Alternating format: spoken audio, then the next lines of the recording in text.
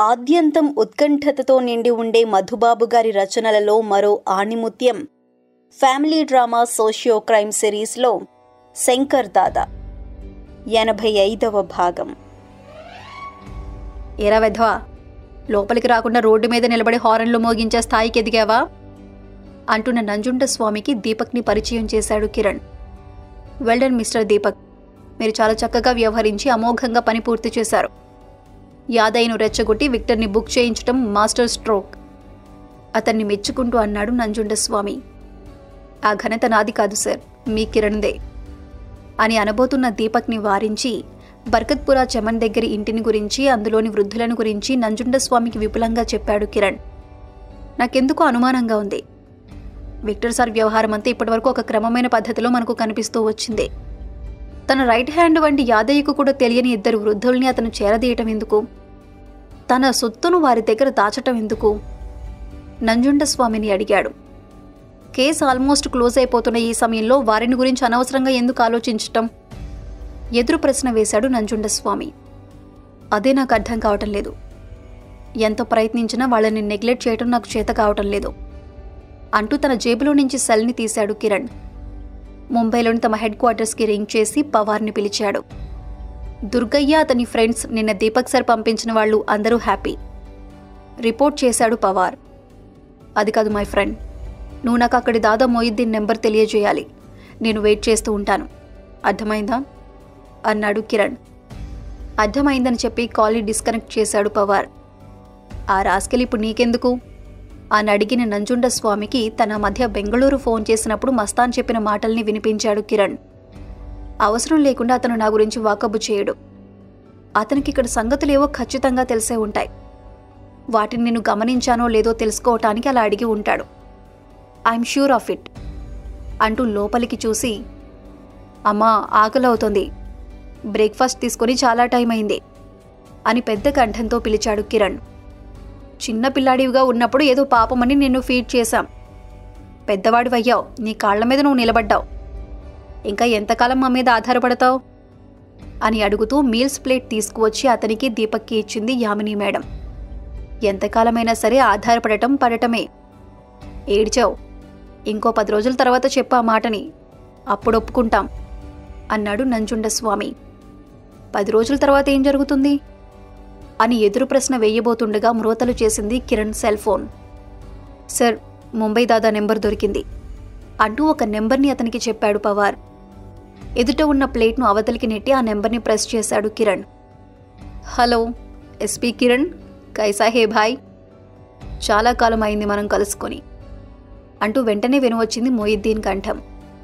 నేను ఫోన్ చేస్తానన్న విషయం మీకెలా తెలుసు? ఆశ్చర్యంగా అడిగాడు కిరణ్. నీ గురించి నేను వేసుకున్న అంచనా తప్పు కాదని నాకు నమ్మకం. ఇందాక మీ హెడ్ క్వార్టర్స్ నుంచి నా నెంబర్ కోసం ఎవరో ట్రై చేశారు. వెంటనే నాకు తెలిసిపోయింది. అచ్చా హే భాయ్ ఇప్పుడు చెప్పు విషయం అని ప్రాంప్ట్ చేశాడు మొయిద్దీన్. బర్కత్పురా చమన్ గురించి అతనికి చెప్పాడు కిరణ్. అక్కడ ఉన్నవాళ్ళెవరు? అని అడిగాడు. వాళ్ళని మీరు అదుపులోకి తీసుకున్నారా? లేదు నడవలేని స్థితిలో ఉన్న అతివృద్ధులు వాళ్ళు. విక్టర్ని లాకప్లోకి నెట్టి ఎంతసేపు అయింది చాలాసేపు అయింది గత రాత్రి అని చెబుతూ అదిరిపడి ఆ మాటల్ని ఆపేశాడు కిరణ్. అవతలి వైపు నుంచి పెద్దగా వినవచ్చిందొక నవ్వు. సులేమాన్ అని గతంలో ఒక పెద్ద బందిపోటు దొంగ అతను. రోడ్ల వెంట అనాథగా తిరుగుతున్న విక్టర్ని పెంచి పెద్ద చేశారు. మీరు జాగ్రత్త పడకపోతే విక్టర్ లాకప్లో నుంచి మాయమైపోతాడు అన్నాడు మొయిద్దీన్. ఈ విషయం నేను గమనించాను లేదో తెలుసుకోవటం కోసమేనా మీరు మా బాబాయ్ పెద్దనాన్నల దగ్గరికి వెళ్ళింది? వేగంగా కొట్టుకోవటం మొదలుపెట్టిన గుండెల్ని చిక్కబట్టుకుంటూ అడిగాడు కిరణ్. ఎస్ నంజుండస్వామి సార్కి సలాం చేశానని చెప్పు అంటూ ఫోన్ని డిస్కనెక్ట్ చేశాడు మొయిద్దీన్. తన ఫోన్ని జోబులో పెట్టుకుంటూ టేబుల్ ముందు నుంచి లేచాడు కిరణ్. అదేంట్రా అన్నం తిని? అంటున్న యామిని మేడంకి స్టిఫ్గా సాల్యూట్ చేశాడు. మొయిద్దీన్ నా నెత్తి మీద ఒక ఆటం బాంబు పడేశాడమ్మా. అతనికి ఇంతకు ముందే ఫోన్ చేసి ఉంటే చాలా బాగుండేది. అంటూ బయటికి పరుగు తీయబోతుండగా రింగ్ అయింది అతని ఫోన్. వెంటనే మూవ్ అవ్వండి. విక్టర్ తప్పించుకున్నాడు. బర్కత్పురా చమన్ దగ్గరి ముసలి దంపతులు బాంబులతో అందరినీ బెదిరించి అతన్ని విడిపించారు. అంటూ వినవచ్చింది ఇంటెలిజెన్స్ హెడ్ షిండే కంఠం. చేతులు కడుక్కోవటానికి వాష్ బేసిన్ దగ్గరికి పోతున్న దీపక్ ఆ పని మర్చిపోయి కర్చీఫ్తో తుడుచుకుంటూ రోడ్డు మీదకి పరిగెత్తాడు కిరణ్ సైగన్ అందుకొని. అరే ఆగు గుడ్డిగా ముందుకు పోకు నిదానించు అని పెద్దగా అంటున్న నంజుండస్వామి మాటల్ని పట్టించుకోకుండా వెహికల్లోకి జంప్ చేశాడు కిరణ్. మనం యాదయ్య దగ్గరికి పోదాం. విక్టర్ సార్ అక్కడికే పోతాడు. ఐఎమ్ షూర్ ఆఫ్ ఇట్ అని అన్నాడు. యాక్సిలరేటర్ని అడుగు కంట అదిమి వెహికల్ని అతివేగంగా పరుగులు తీయించాడు దీపక్. అమ్మ తోడు తల్లి మేము ఖతం చేసిన వినోద్తో మాకు వ్యక్తిగతమైన కక్ష ఏమీ లేదు. విక్టర్ సార్ చెప్పిండు మేం చేసినాం. నువ్వు అనుకుంటున్నట్లు మేము రాక్షసులమే అయితే పసిబిడ్డగా ఉన్న నిన్ను మా బాలయ్య ఎందుకు తీసుకుపోతాడు? వాడు నిన్ను ఎలా పెంచిండో నీకు తెలుసు. నీకు జలుబు చేసి జ్వరం వస్తే తనకు టైఫాయిడ్ జ్వరం వచ్చినట్లు బాధపడిపోయేవాడు. అవునా కాదా? ఆర్తి మేడంని అడిగాడు చిన్న. తన బాల్యం కనుల ముందు మెదిలేసరికి డగ్గుత్తిక్కపడింది ఆర్తికి. నా అన్న నాకు అన్న ఉన్నాడని అనాథలా పారిపోయాడని తెలిసి అతన్ని గురించి చెబుతావా? తనను తాను కంట్రోల్ చేసుకుంటూ అడిగింది. నీ అన్నను గురించి నాకేమీ తెలియదు తల్లి అంటూ క్షణం ఆలోచించి టూ టౌన్లో ఉండే కానిస్టేబుల్ ఇబ్రహీంకి బాగా తెలుసు. వాడు చచ్చిపోయాడు. నువ్వక్కడ జాఫర్ మియా టైర్ల దుకాణం దగ్గరికి వెళితే ఉపయోగం ఉంటుంది అన్నాడు చిన్న. గిరుక్కును వెనుతిరిగి కారు దగ్గరికి పోతున్న ఆమెను వదిలిపెట్టకుండా వెంబడించాడు చిన్న. అమ్మా నా మీద నీకు కోపంగా ఉందా? మేము అని అంటుండగా చేయి చాచి అతని చేతి మీద వేసింది ఆర్తి. నేరస్థుడి తిండి తిని నేరస్థురాలిగా పెరిగి నేరస్థుడి కోడలినయ్యాను. నేను నిన్ను తప్పుపట్టడం ఎలా జరుగుతుంది? చనిపోయిన తల్లిదండ్రుల్ని ఎలాగో చూడలేను. నా అన్ననైనా ఒకసారి చూడగలిగితే తృప్తిగా ఉంటుంది. నీరు నిండిన కనులతో అన్నది. ఎందుకో చిన్న ముఖం చిన్నబోయింది. వయసులో ఉండగా చేసిన తప్పులు వయసైపోయిన తర్వాత వెంటబడతాయని అనుకోలేదు తల్లి. చాలా బాధగా ఉంది. అంటూ వెనుతిరగబోయి ఆగిపోయాడు. వీధుల వెంట తిరిగే జనం గుంపులు గుంపులుగా ఒక చోట చేరుతూ ఉండటం అందుకు కారణం. ఒక్క క్షణం ఆగు తల్లి సంగతి ఏమిటో తెలుసుకువస్తాను. అంటూ ముందుకు పోయి గోడకు కొట్టిన బంతిలా తిరిగి వచ్చేశాడు. అమ్మా విక్టర్ సార్ లోకప్లో నుంచి తప్పించుకున్నాడంట. పట్టించిన వాళ్ళకి పోలీసులు పెద్ద పెద్ద బహుమతులు ఇస్తారంట. నువ్వు ఇంట్లోకి వచ్చేయ్ నిన్నెవరైనా గుర్తుపడితే ప్రమాదం. అంటూ చేతిని పట్టుకొని ఇంటివైపు లాగాడు. తల అడ్డం తిప్పి కారులో కూర్చుంది ఆర్తి. జనం మమ్మల్ని కొడితే కొట్టారు. చంపితే చంపారు. నేను టూ టౌన్కి వెళ్ళి తీరుతాను అంటూ భర్తకు సైగ చేసింది. సూటిగా పోనిచ్చి జాఫర్ మియా దుకాణం ముందు సడన్గా కారు ఆపాడతను రెండు రోజుల పాటు ఆటోని రోడ్డు మీదకి తీసుకురాకపోవడంతో టైర్లలో గాలి తగ్గటం వల్ల అప్పుడే అక్కడికి ఆటోని తోసుకుంటూ తీసుకువచ్చింది ఆటో రాణి. తన దగ్గరికి వచ్చిన జాఫర్ మియాకి కనులతో కారును చూపించి ఆర్తి మేడం అని అన్నది. ఆ శంకర్ కోసమే వచ్చి ఉంటుంది నాకు తెలుసు. వాళ్ళ నీకు ఉపేక్షించి లాభం లేదు. రేయ్ ఎవడ్రాకడా అక్కడ? రేయ్! అంటూ రంకెలు వేయబోయిన జాఫర్ మియా నోటిని తన చేత్తో గట్టిగా అదిమింది ఆమె. ఆమె ముఖం అదోలా ఉంది విషయమేమిటో తెలిసేదాకా ఆగు అంటూ హెచ్చరించింది. కార్ దిగి సూటిగా జాఫర్ మియా దగ్గరికి వచ్చింది ఆర్తి. నేను విక్టర్ సార్ కోడలనని మీకు తెలిసిపోయింది. నేనిక్కడ ఆయన తరపున గొడవ చేయటానికి రాలేదు. ఒక ఇన్ఫర్మేషన్ కోసం వచ్చాను అని అన్నది. ఏమిటది? శంకర్ సార్ గురించి వాకప్ చేయటానికా? వెక్కిరింపుగా అడిగింది ఆటో రాణి కాదు ఎప్పుడో చాలా కాలం క్రితం తప్పిపోయిన మా అన్నను గురించి తెలుసుకోవాలి అన్నది ఆర్తి. మీ అన్నని గురించా? మీ అన్న మాకెలా తెలుస్తాడు? ఆశ్చర్యంగా ప్రశ్నించింది ఆటో రాణి నీకు తెలియదు ఈయనకు మాత్రమే తెలుసు. జాఫర్ మియా వైపు చూస్తూ అన్నది ఆర్తి. ప్రశ్నార్థకంగా చూసిన జాఫర్ మియా ఒళ్ళు జల్లుమంది ఆ తర్వాత ఆమె మాట్లాడిన మాటల్ని వినేసరికి నువ్వు వినోద్ సార్ కూతురువా? ఇబ్రహీం భాయ్ ఎన్నెన్నో ప్రయత్నాలు చేసిన బేబీవి నువ్వేనా? అన్నాడు. అవునని తల ఊపుతూ చేతులు జోడించి అతనికి నమస్కారం చేసింది ఆర్తి. మీకేమైనా తెలిస్తే మా అన్నని గురించి చెప్పండి. ఒక్కసారి చూసి నేను వెళ్ళిపోతాను. నీరు నిండిన కనులతో అడిగింది. బీడీ వెలిగించుకొని కళ్ళు కళ్ళుమని నాలుగు సార్లు తగ్గి ఆమె వంక చాలా నిశితంగా చూశాడు జాఫర్ మియా ఆటో రాణికి అంత అయోమయంగా అనిపించసాగింది. ఏమిటి బాబాయ్? ఈమె గారు అన్న నీకు తెలుసా? అని అతన్ని అడిగింది. నాకే కాదు నీకు తెలుసు. ఈమె అన్న ఎవరని అనుకుంటున్నావు? మన శంకర్ సారే ఈమె అన్న. అసలు విషయాన్ని బయటపెట్టాడు జాఫర్ మియా అదిరిపడి రెండడుగులు వెనక్కి వేసింది ఆటోరాణి జాఫర్ మియా చూస్తూ ఉండగానే తూలి ముందుకు పడిపోబోయింది ఆర్తి మేడం. కార్ దిగి పరిగెత్తుకు రాబోయిన ఆమె భర్త కంటే ముందుగా ఆమెను పట్టుకున్నాడు జాఫర్ మియా.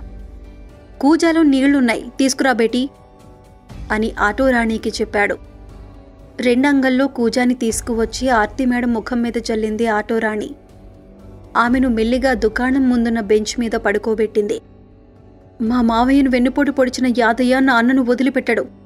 చంపేస్తాడు. ఏదొక విధంగా అతన్ని రక్షించుకోవాలి. అతన్ని నేను వెంటనే కలుసుకోవాలి. కంగారుగా అంటూ లేచి కూర్చుంది ఆర్తి. శంకర్ సార్ని ఖతం చేయగల మొనగాడు ఈ ప్రపంచంలో ఇంకా పుట్టలేదు. కళ్ళెర్ర చేసి చూశాడంటే ఖతమైపోతాడు మీ యాదయ్య. అతను ఎవరని అనుకుంటున్నావు? మీ మామయ్య పని పట్టడానికి వచ్చిన పోలీస్ ఆఫీసర్ అన్నాడు జాఫర్ మియా పిడుగుల వంటి మాటలు వినటానికి అలవాటు పడిన ఆర్తి మేడం ఆ మాటలకు చలించలేదు గాని అదిరిపడి చూసింది ఆటోరాణి. ఏమిటి బాబాయ్? పోలీస్ ఆఫీసర్ ఏమిటి? శంకర్ సార్ కానిస్టేబుల్ అయితే? అంటూ జాఫర్ మియాను నిగ్గతీసి అడిగిందామె. నువ్వు పెద్ద పిచ్చి ముఖానివి. పోయి మిర్జావలిని అడుగు. అతను మామూలు ఆఫీసర్ కూడా కాదు. మన సిటీలో ఉన్న పోలీస్ కమిషనర్కు ఉన్నన్ని అధికారాలున్న చాలా పెద్ద ఆఫీసర్ అట అంతకు మునుపు మిర్జావలి చెప్పిన మాటల్ని గుర్తుకు తెచ్చుకుంటూ ఆమెకు చెప్పి అదిరిపడ్డాడు. ఈ విషయాలు బయట పెట్టనని భగవంతుడి మీద ప్రమాణం కూడా చేశాను. అయినా నోరు దురద కొద్దీ ఇప్పుడు బయట పెట్టేశాను. నీ నొట్టి లఫూట్ని అంటూ నుదురు చరుచుకుంటున్న అతన్ని చూసి చిన్నగా నవ్వాడు స్కూటర్ నాపి స్టాండ్ వేస్తున్న మిర్జావలి అనుకున్న పనులన్నీ అనుకున్నట్లుగా సవ్యంగా జరిగిపోతున్నాయి. కాబట్టి నువ్విప్పుడు నోరు జారినందువల్ల ఇబ్బంది ఏమీ లేదులే. అంటూ బెంచ్ మీద కూర్చుని ఉన్న ఆర్తి మేడం వైపు చూశాడు. అమ్మా మీరు తన చెల్లెలని మా సార్కి తెలుసు.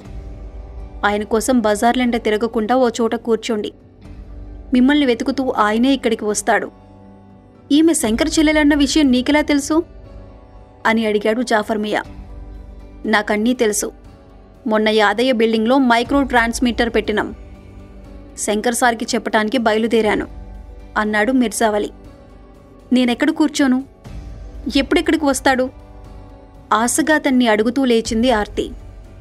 మీరు నిరంజన్ సార్ ఇంటి దగ్గరికి వెళ్ళి అక్కడ కూర్చోండి. ఆయనెవరో మీకు తెలుసు. Star agency.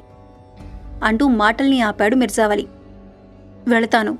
నిరంజన్ సార్కి క్షమాపణలు చెప్పుకుంటాను. అంటూ కారు దగ్గరికి బయలుదేరిన ఆమెను ఆగమని ఆటో రాణికి సైగ చేశాడతను. శంకర్ సార్ని పెంచి పెద్ద చేసిన Karnataka police officer Niranjan sir ఇంట్లో ఉన్నాడు. ఆయన నిన్ను చూడాలని అనుకుంటున్నాడు. పెద్ద ఆఫీసర్ కదా నువ్వు కూడా ఒకసారి వెళ్ళి వస్తే బాగుంటుంది అని అన్నాడు. శంకర్ సార్ కూడా పెద్ద ఆఫీసర్ అని నువ్వు నాకెందుకు చెప్పలేదు? అని అడిగింది ఆటోరాణి. నువ్వు నా మీద విరుచుకుపడొద్దు. అది నా తప్పు కాదు. శంకర్ సారే చెప్పొద్దన్నాడు. అడిగేదేదో ఆయన్నే అడుగు అంటూ స్కూటర్ దగ్గరికి వెళ్ళాడు మిర్జావలి విక్టర్ సార్ సంగతి ఏమైంది భాయ్? రహస్యంగా ఆర్తికి వినబడకుండా అతన్ని అడిగాడు జాఫర్ మియా. ఇంకా ఏమీ కాలేదు. సిటీ అంతా వెతుకులాట జరుగుతోంది. అంటూ స్కూటర్ని స్టార్ట్ చేసి ఆటో రాణికి సైగ చేశాడు మిర్జావలి ఆ ఇష్టంగానే వెనక కూర్చుంది ఆమె. ఆర్తి కార్ తనను అనుసరిస్తూ ఉండగా నిరంజన్ సార్ ఇంటివైపు స్కూటర్ని పోనిచ్చాడు మిర్జావలి తాళం వేసి ఉన్న గదుల్లో నుంచి ఖరీదైన మద్యపు సీసాలను తెప్పించి అనుచరులందరికీ ఇచ్చాడు యాదయ్య. తాగండి బే తాగి తందనాలు తొక్కండి. ఇయాల్టి నుంచి సిటీలో మనల్ని మించిన దాదా ఎవడూ ఉండడు. మన మాటకు ఎదురు చెప్పినోడి పని ఖతం. ఎంతో హుషారుగా అన్నాడు యాదయ్య. అన్నా ఆడు ఆ శంకర్గాడు అంటూ గుర్తు చేశాడు ఒక అనుచరుడు. రేయ్ ఆడినేసేసేదేవుర్రా ఎవరు చేస్తారా పని? కాలు మీద కాలు వేసుకుంటూ విక్టర్ సార్ మాదిరి ఠీవీగా అడిగాడు యాదయ్య. చెంగున లేచి అతను ముందుకు వచ్చారు ముగ్గురు అనుచరులు.